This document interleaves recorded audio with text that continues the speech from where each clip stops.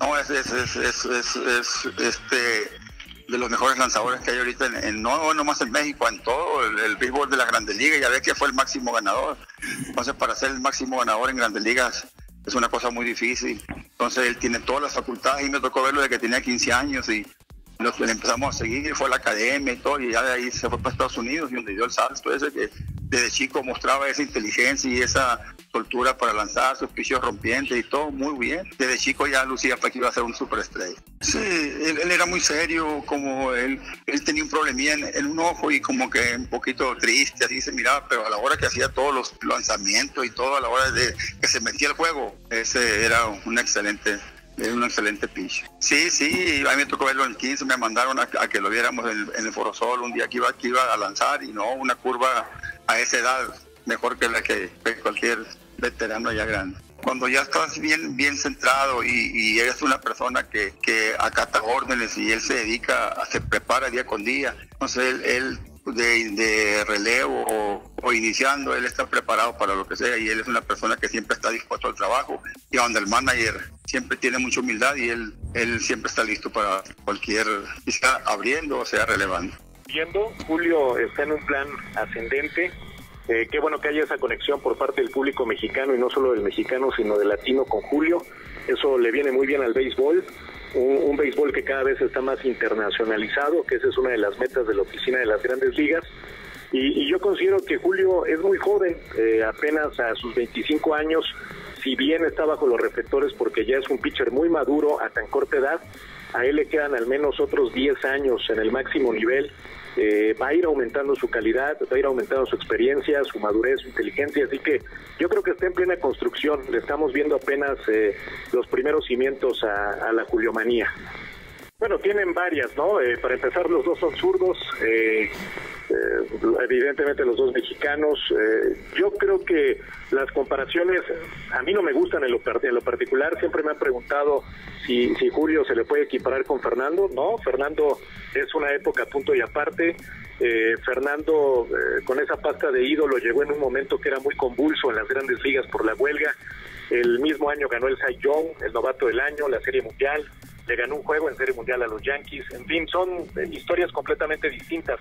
Julio es un pelotero con otro tipo de preparación previa a su erupción en grandes ligas, un muchacho que ha vivido los sistemas sucursales de otra forma, totalmente distinto a lo que fue Fernando, eh, no por ello eh, se le demerita calidad, ni mucho menos, al contrario, Julio está en un béisbol que resulta más rápido, más milimétrico, un béisbol de mayor ciencia, mucho más estudiado, eh, pero también un béisbol que en determinado momento, por la sabermetría, muchas veces el espectáculo o esta parte romántica queda de lado, ¿no? Y fue justamente lo que sucedió ayer, que hubo un poco entendimiento por parte de los aficionados en el sentido de que el béisbol ya es otro y ya el béisbol con aquellos manos a mano de, un pitcher contra otro, de esos bolos de pichó quizá ya no los volvamos a tener, ¿no? Ahora eh, se apuesta por el eh, famoso opener y viene por una, dos entradas y vendrá después un relevista largo y posteriormente un blockbuster de, relevistas cortos hasta llegar al taponero, en fin. Ahora el béisbol es distinto. Yo creo que no cabe la comparación entre Julio y Fernando, salvo que los dos visten la misma franela, eh, que los dos eh, son mexicanos exitosos y que los dos, eh, uno ya labró y el otro está labrando una gran carrera en grandes ligas. Yo creo que son varios los beneficios, es un abanico de beneficios para el béisbol mexicano. En primer lugar, sigue colocando a los lanzadores bajo el reflector, los sigue colocando bajo la lupa de los scouts México siempre se ha destacado por ser un país que brinda mucho talento, particularmente de lanzadores a Estados Unidos, es donde mayormente han brillado los mexicanos. Eh, ese es por un lado, en la parte deportiva. Segundo, en la parte mediática, siempre resulta importante tener a un pelotero mexicano de sangre latina, además en un equipo donde lo sabemos en la ciudad de Los Ángeles, pues es uno de los epicentros de latinos en, los Estados Unidos, eso le viene muy bien en la parte difusión. Eh, siguiendo sobre ese mismo sobre ese mismo carril eh, el hecho de que tengamos a un mexicano con esa proyección evidentemente hace que sume nuevos adeptos al, béisbol eh, en México, en Latinoamérica. yo creo que le viene muy bien por todos lados, incluso al mercado de los propios peloteros en Estados Unidos. Creo que eso es algo que ya está muy claro, pero se ratifica. El latino está para cosas grandes y está para cobrar millones de dólares, está para cobrar cañonazos de dinero. Y, Julio, yo espero que eh, tan pronto como el próximo año eh, tenga sobre la mesa el, ofrecimiento de un contrato al menos de doble dígito. Obviamente ha sido, yo creo que lo comparo con papá por la humildad, o sea, haciendo su trabajo y que el trabajo hable por sí mismo, no, no sale y, habla, ya sabes, de los periódicos, de que es abridor, de que no 20 juegos, cualquier otro pitcher, pues a lo mejor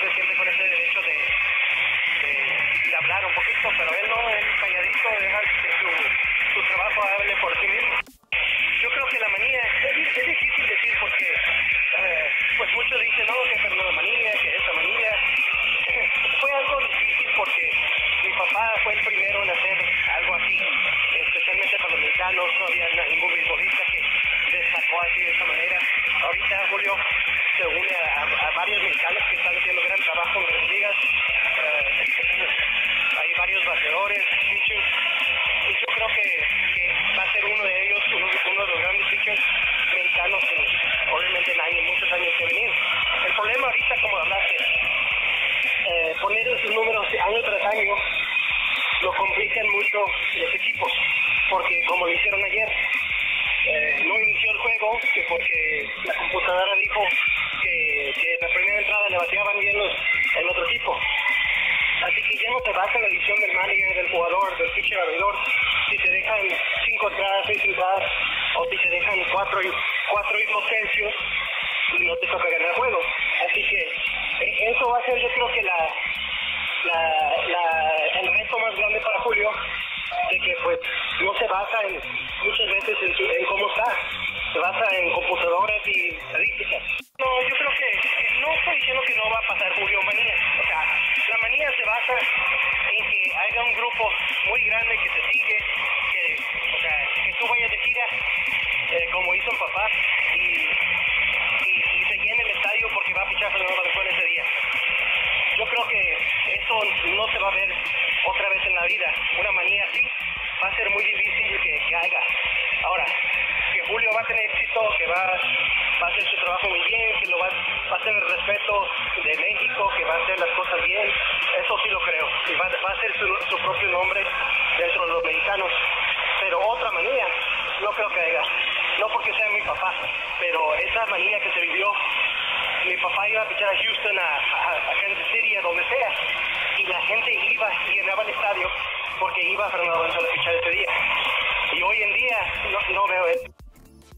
Pues bueno, yo creo que de antemano mantenerse en grandes ligas con un equipo de la calidad de los Dodgers de Los Ángeles, ¿no? Un equipo que ha estado como protagonista en los últimos ocho años, creo que el equipo a lo mejor con más éxitos en la última década, y pues mantenerse un equipo donde pues exige demasiado, creo que no es nada fácil, y ya con esto pues, pues esta gran temporada que ha tenido Julio, que pues es hasta ahorita el mexicano con más victorias, como líder en una temporada en victorias, 20 juegos ganados también es algo que no había pasado en todas las grandes ligas o en la Liga Nacional desde Max Scherzer hace unos cuantos años. Yo creo que, que, eso es lo que inspira a la afición mexicana, ¿no? A todos los que estamos desde acá en Estados Unidos, alrededor del mundo, en México, desde luego, a que Julio pues se esté convirtiendo ahorita en un ídolo, que definitivamente esto ayuda mucho al béisbol mexicano. Y lo que ha sido, lo que está haciendo bien, yo creo que su personalidad la manera de que ve el juego y la manera de que ejecuta, ¿no? Cada vez lo vemos con más seguridad en la loma y eso le permite tener más confianza y a lo mejor hacer picheos, este, digamos, arriesgados que no se atrevía a hacer en temporadas anteriores y eso le está dando ese éxito que, que lo ha mantenido ahí, ¿no? Como uno de los pilares de la rotación de los Dodgers durante la temporada. Sí, yo creo que siempre es importante tener un ícono, ¿no? Lo que pasó con Fernando Valenzuela en los 80, pues yo creo que esto acercó a muchos eh, jóvenes, a mucha afición en México a, seguir lo que es eh, lo, que es el béisbol. Yo creo que a pesar de que hemos tenido varios ídolos o varios este, jugadores en grandes ligas, desde Fernando Valenzuela, como el caso de Vinicio, como el caso de Esteban Loaiza, eh, pues yo creo que no se había presentado un jugador como lo que ha venido haciendo Julio Urias, ¿no? Y creo que también no que le ayude tanto a su carrera, porque él tiene una carrera consagrada. Yo digo que ayuda mucho a la promoción de Julio Urias en estar en un equipo con un mercado tan grande como son los Dodgers de Los Ángeles. Un equipo que, al igual que los Yankees, creo yo, tienen impacto alrededor del mundo, pero sobre todo los Dodgers creo que tiene una afición muy arraigada en México. Entonces todo eso se suma para la popularidad que tiene Julio Urias y que eso definitivamente se va contagiando a, la, a los a los jóvenes o a la gente que gusta del deporte, pero que les empieza a caer ese esa afición por el béisbol porque saben que un mexicano está siendo exitoso en el béisbol, en el mejor béisbol del mundo. Urias es un caso muy diferente al de Valenzuela. Eh, son dos pitchers incluso, aunque zurdos y lo que quieras, mucho, muy diferentes entre sí. Julio Urias ya puedes etiquetarlo como un pitcher de poder, que nunca fue Fernando Valenzuela por lo que hace a su recta. Urias tiene no solamente un pichero, ¿no? Valenzuela era la recta y un screwball espantoso. Y nada más. Eh, Urias tiene una curva y un slider que ha hecho muy parecidas y esa es la clave de su éxito este año de haber de haber subido un nivel más que todavía puede subir más Julio Urias. Vaya eh, estamos hablando de un pitcher que no va a ganar el Sayón eh, por ahí me diría yo. Puede haber una Julio Manía claro que Julio Urias es motivo de orgullo. El tema es que el chauvinismo el nacionalismo malentendido no nuble a la gente, vaya.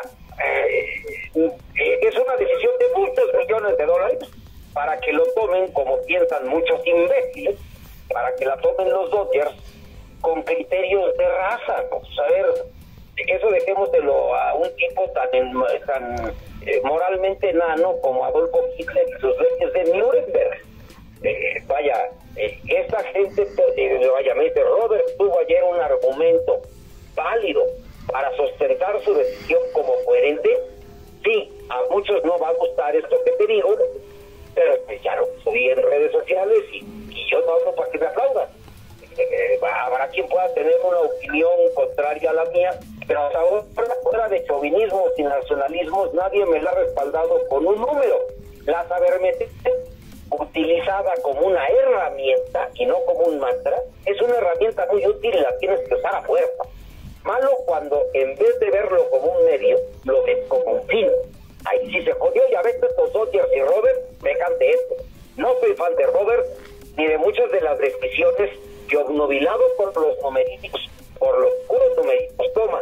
La de ayer no era decisión de esa. Robert te podía parar ante la prensa si hubieran, le hubieran metido cinco carreras a Corey Knebel en la primera entrada y hubiera podido sustentar su decisión como coherente con toda la validez del mundo. Hay, cosas que, que, a la hora de la hora salen o no salen, ¿no?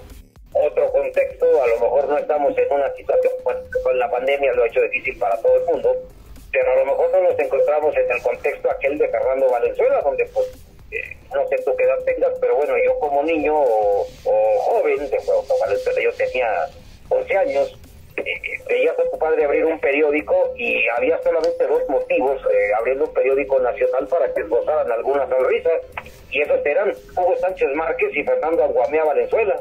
Valenzuela y, Hugo Sánchez, ya posteriormente pues César Chávez, trajeron muchas alegrías a gente que muy necesitada de ellas estaba. Y, y, bueno, Julio Urias está empezando, yo creo que de Julio Urias todavía estamos por verlo mejor el salto que dio entre el año pasado y este, y a su vez que dio el año pasado con respecto al 2019, son muy importantes. Vamos a esperar. En Julio Urias todavía puede y debe dar para más. No depende de nadie más que de Julio Urias, que bueno, hasta ahora ha estado a la altura del resto.